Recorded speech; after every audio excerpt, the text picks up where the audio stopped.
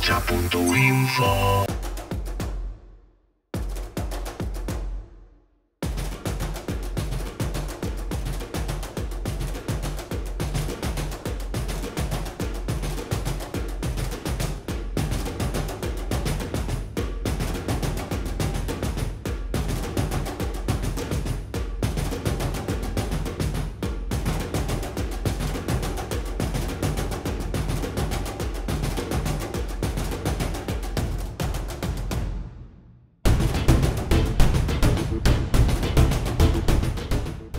Defender nuestras demandas más urgentes, como son la superación de la brecha salarial y de las pensiones entre hombres y mujeres. Estamos inmersas en un sistema ultra neoliberal, como han dicho las compañeras de, de pero este sistema ultra neoliberal es un sistema de desarrollo socioeconómico de un norte global que sigue expoliando a un sur globalizado. Esta es una de las causas de las migraciones que además siguen siendo constantemente deslegitimadas, o sea, el derecho a migrar sigue siendo criminalizado y deslegitimado de múltiples maneras, pero no solo tienen que atravesar la, frontera externalizada, controlada y militarizada, sino que luego las fronteras atraviesan la, vida de, las personas migradas de múltiples maneras. Eh...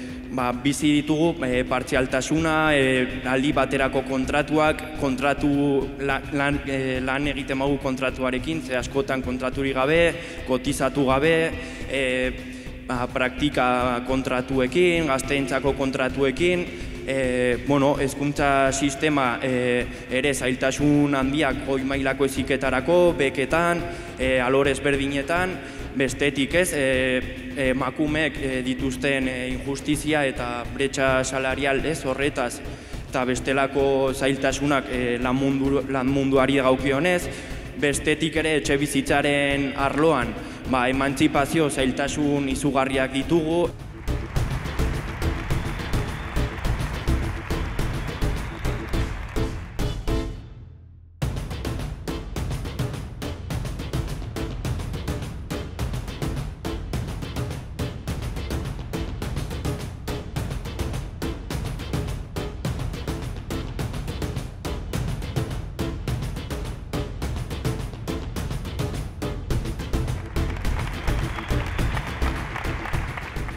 Nafarroako gobernuaren aurrekontuen norabide aldatzeko, aurrekontu sozial eta burujabeak izatzeko hiru baldintza ezinbestekoak dira.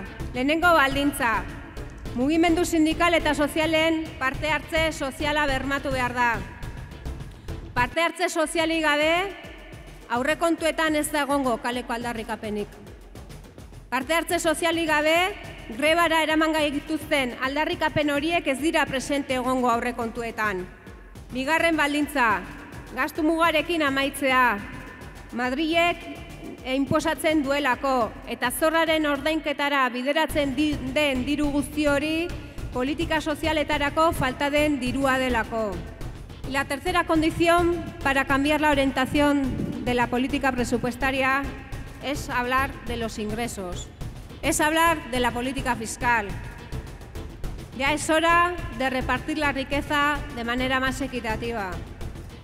Y esto supone afrontar una reforma fiscal que apueste por la progresividad.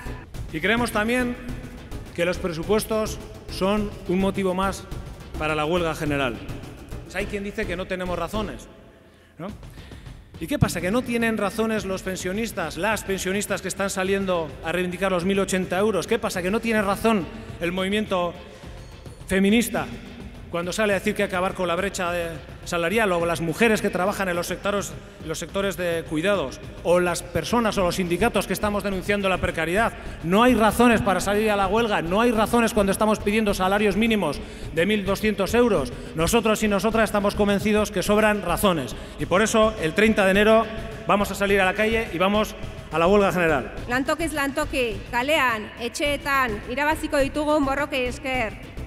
Izan soldatapeko, izan lanez gainezka, baina enplegurik gabe dauden emakume horiek, izan gazte, izan pentsionista, izan etxeko langile. Borroka guzti guztiak, borroka berdinaren parte direlako, borroka guzti guztiak sistema hau eraldatzeko borroka direlako, urtarrilaren hogeita marrean, denok kalean elkar ikusiko dugu. Gora langileon borroka!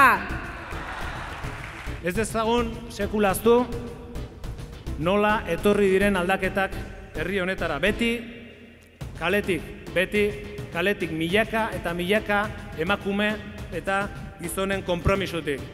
Ez dago ba, beste biderik. Elkartasuna eta borroka. Gora greba orokorra!